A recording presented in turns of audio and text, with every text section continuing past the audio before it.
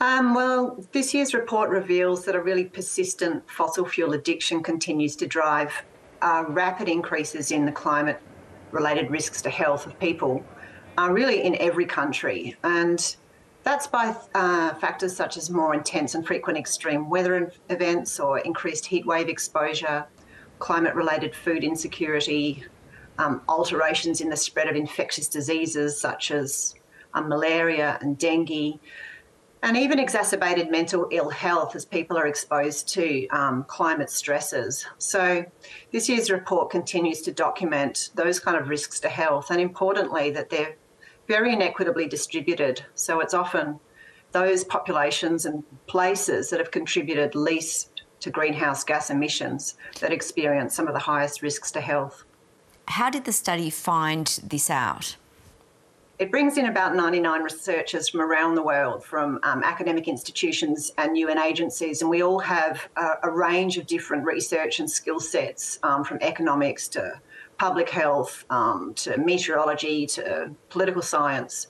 Um, so we will draw on big global data sets to try and understand the associations between changing climate parameters and health indicators.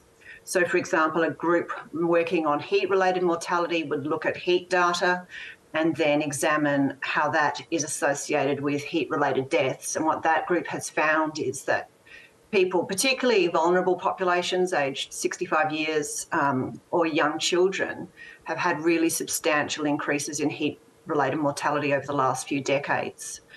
Um, other groups will look at the climate suitability for the spread of infectious diseases. Um, myself, I work with a team where we look at um, the impacts of sea level rise uh, for, for the health of people living in very low elevation areas and um, the possibility that some of those populations, if they are unable to adapt, will be forced to relocate away as sea levels rise. And you believe, though, that it is possible to tackle global heating by taking urgent, health centred action. Tell us a bit more about what this would look like. Well, of course, it's grim reading, but there are signs of hope. We have seen um, that total clean energy generation has reached record high levels in the last few years. Um, for the first time, we're seeing direct and indirect employment in renewable energy um, is comparable to employment in the fossil fuel extraction uh, industries. Um, I think there's a global understanding that the health sector, which of course is there to improve the health of populations, is actually contributing about 5% of greenhouse gas emissions globally. So there's quite um, a lot of momentum now for countries to commit to low or net zero carbon health systems. So the UK um, is really forging ahead, and now Australia, with a new government, is starting to make commitments in that area. Um, and I think broadly, there's a very clear understanding that there are incredible health benefits of phasing out fossil fuels.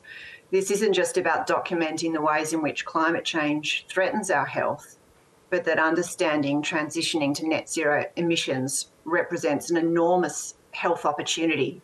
So, if we, for example, cut fossil fuel combustion, um, there's the opportunity to prevent more than a million deaths per annum due to dirty air. So there's a lot of reason to move to a clean energy future. And Celia, it was also found that the prevalence of undernourishment increased during the pandemic of COVID 19. What can you tell us here? It's clear that in a warming world, the climatic suitability for growing crops such as rice and wheat um, are reducing, so that that climate suitability for crop production is compromised by um, global heating. With COVID 19, we're adding the pressures of um, compounding crises where we have pressures on health systems, on populations, on food security, on cost of living. So, really, the risks to climate change and health are occurring in a world with these quite extreme um, compounding crises, which presents an enormous pressure for governments to decide how to allocate resources and how to respond. While COVID 19 exacerbated a lot of these health problems, it also served as a reminder that we can be effective in tackling them if the world mobilises.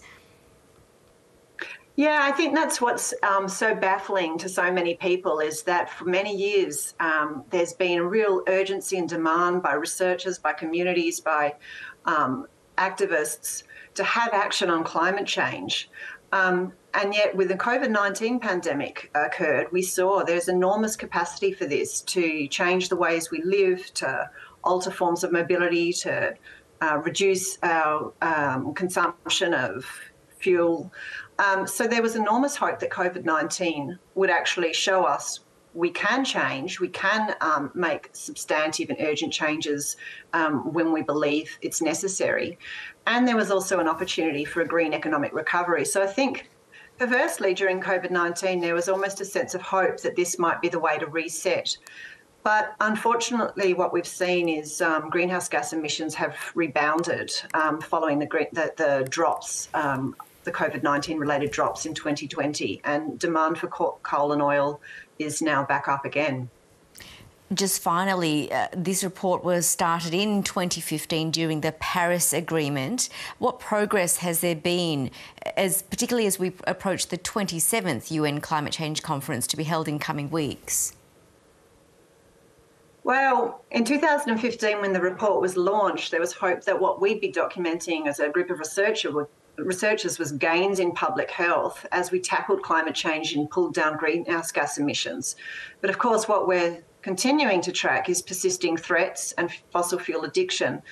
But there's definitely signs of hope. Um, I think uh, with the upcoming COP, um, there's a lot of momentum to generate new um, policy positions and frameworks. Um, for example, the World Health Organization has recently joined with health professionals around the world calling for an urgent fossil fuel non proliferation treaty, um, which is actually really interesting. It's positioning oil, coal, and gas as substances that harm human health and that need to be um, prevented. So. Um, and in Australia, we've got commitments to a national strategy on climate, health, and well-being. So I think there, there are there's signs of momentum um, nationally and globally, um, and hopefully that will translate to action in the upcoming COP. Good to see some optimism there. Celia McMichael, thank you so much. Thanks, Yvonne.